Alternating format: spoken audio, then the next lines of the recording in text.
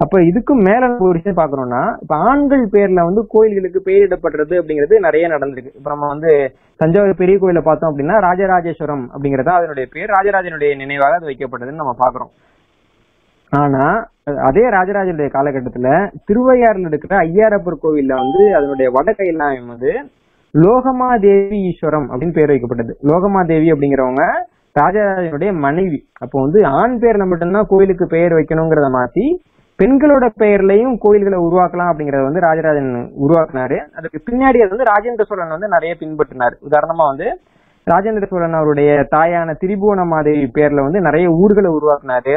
அதே மாதிரி அவங்க அவங்களுடைய தாய்க்கு வந்து ஒரு சிலை செஞ்சு அது வந்து நாகப்பட்டினத்துல இருக்கக்கூடிய செம்பியன் மாதேவிங்கிற ஊர்ல இருக்கிற ஒரு கோயில்ல வந்து தனது தாய்க்கு சிலையை வச்சாரு. கோயில்ல வந்து ஒரு பெண் சிலையை வச்சாரு.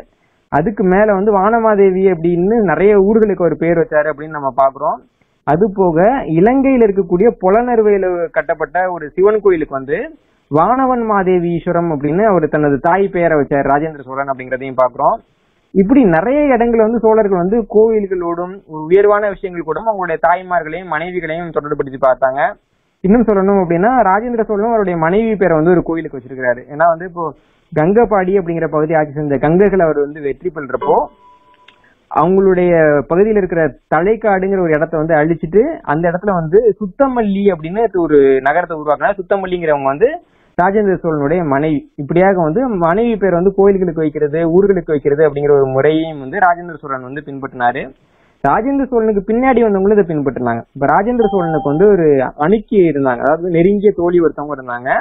அவங்க வந்து ஒரு சாதாரண ஒரு பணிப்பெண்ணுக்கு பிறந்தவங்க. பிரதிமா தேவி அப்படிங்கிற ஒரு பணிப்பெண்ணுக்கு பிறந்தவங்க. அந்த பெண் அவங்களுடைய பேர் பார்த்தோம்னா பறவை அப்படின்னு பேரு. அவங்க வந்து திருவாரூர்ல இருக்கக்கூடிய தியாகேஸ்வர் கோயில்ல வந்து வேலை பார்த்துட்டு இருக்காங்க. இப்ப அரசரே வந்து அவங்க மேல வந்து ஒரு அன்பு வச்சிருந்தா கூட அவங்க வந்து கோவில்ல வந்து தேவரடியாராக இருக்கிறதான் விரும்புறாங்க. இது அரசருக்கும் தெரியுது.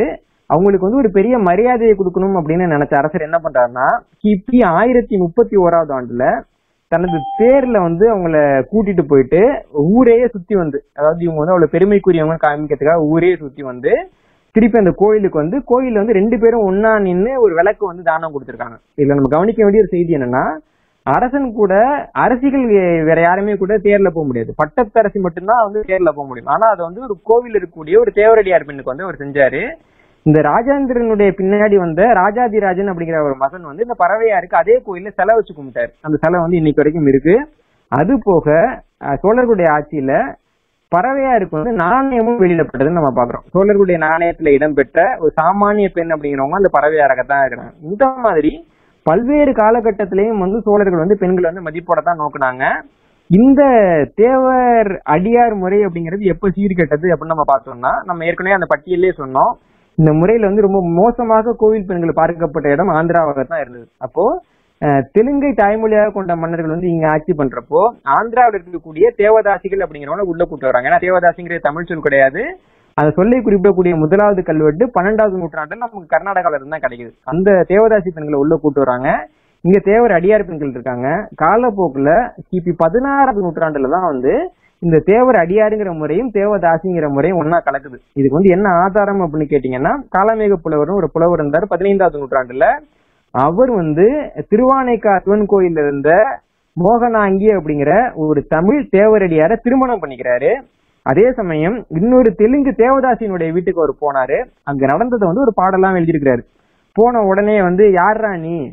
எங்கேருந்து வர்ற? அப்படின்னு அந்த பெண் கேட்டிருக்காங்க. அத உடனே வந்து ஏமிரா ஊர் என்பாள் எந்துண்டி வஸ்தி என்பாள் தாமிரா சொன்ன எல்லாம் தலைக்கடை தெரிந்ததில்லை அப்படின்னு ஒரு பாடலாவே அவர் எழுதியிருக்கிறாரு. இந்த பாடல்ல இருந்து தமிழ் பேசக்கூடிய பெண்களான அந்த தேவர் அடியார்கள்ங்கிறவங்க வேற இங்க வந்து தேவதாசிகள்ங்கிறவங்க வேற தேவதாசிகள் தான் பாலியல் சுரண்டலுக்கு ஆளாக்கப்பட்டார்கள் அப்படிங்கிற அந்த பிரிவை வந்து நம்மளால ரொம்ப தெளிவா புரிஞ்சு- புரிஞ்சுக்க முடியும். இது போக சோழர்கள் காலத்துல வந்து உடன்கட்டை இருந்ததா அப்படின்னு கேக்குறாங்க. உடன்கட்டை இருந்தது. அதனால வந்து உடன்கட்டை வந்து அவங்க வந்து வரவேற்கல. நல்லா கவனிக்க வேண்டிய செய்தி என்னன்னா வடக்குல வந்து அரசர்கள் இறந்து போறப்போ அவங்க மனைவிகள் வந்து உடன்கட்டையில வந்து தள்ளப்பட்டாங்க. அதே மாதிரி தமிழ்நாட்டுல வந்து திருமலை நாயக்கர் அவர்கள் இறந்தப்போ அவர் கூட அவருடைய நூத்தி அறுபதுக்கும் மேற்பட்ட மனைவிகள் வந்து அவங்க சிதையிலேயே தள்ளி படுகொலை செய்யப்பட்டாங்கன்றத பாக்குறோம். தஞ்சாவூரை ஆண்ட நாயக்க மன்னர்கள் வந்து அவங்களுடைய ஆட்சி முடிய போது போர்ல தோற்க போறோம்னு நிலைமை வர்றப்போ அந்த புறத்தை வெடி வச்சு அவங்களே வெடிக்க வச்சு அங்க இருக்க பெண்களை கொண்டாங்கன்றதையும் நம்ம பாக்குறோம். ஆனா சோழர்களுடைய வரலாறை பாக்குறப்போ ராஜராஜ சோழனுடைய தாய் வந்து அவங்க கணவரான சுந்தர சோழர் இறக்குறப்போ நான் வந்து உடன்கட்டை ஏறுறேன் அப்படின்னு சொல்றப்போ அங்க இருந்த எல்லாரும் உடன்கட்டை ஏறாதீங்கன்னு சொன்னதாகவும் அதை மீறி அவங்க உடன்கட்டை ஏறினதாகவும் சோழர் காலத்து கல்வெட்டுகளையும் செப்பு பட்டங்களையும் நமக்கு செய்தி காணப்படுது.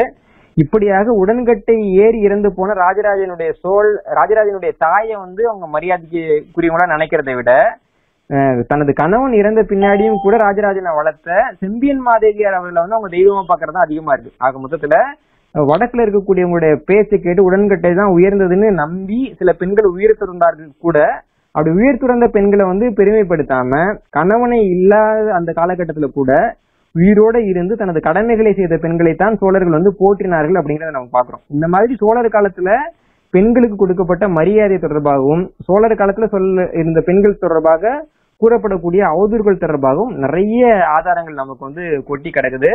இந்த இடத்துல வந்து நேரத்தினுடைய அருமையை கருதி மிக முக்கியமான சில சான்றுகளை மட்டும் நான் அவங்க கூட பகிர்ந்துக்கிட்டேன் இதுல வந்து எவ்வளவு பெண்கள் இருப்பீங்க எவ்வளவு ஆண்கள் இருப்பீங்க அப்படின்னு எனக்கு தெரியல.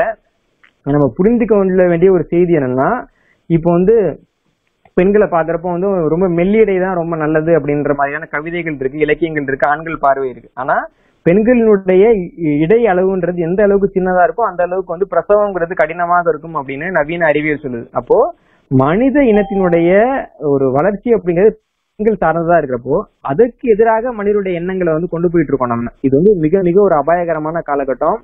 மனித இனத்தினுடைய வளர்ச்சிக்காக இருக்கக்கூடியவங்க பெண்கள் அவங்க அதுக்காக அவங்கள வந்து வீக்கர் செக்ஸ் அப்படின்னு சொல்றது அவங்க வந்து ரொம்ப பலகீனமா இருக்காங்கன்னு சொல்றது இதெல்லாம் வந்து மிகப்பெரிய பாவம். மனித இனத்தினுடைய ஒரு இத்தனை ஆண்டுகால வரலாறுல வந்து ஒரு ஒன்றரை லட்சம் ஆண்டுகளுக்கு மேலாக பெண்கள் செய்த தியாகத்துக்கு எதிராக நிகழ்த்தப்படக்கூடிய மிகப்பெரிய பாவம். அந்த பாவத்தை நம்ம செய்யக்கூடாதுங்கிறதே ஒரு கோரிக்கையா நான் இங்க முன் வச்சுக்கிறேன்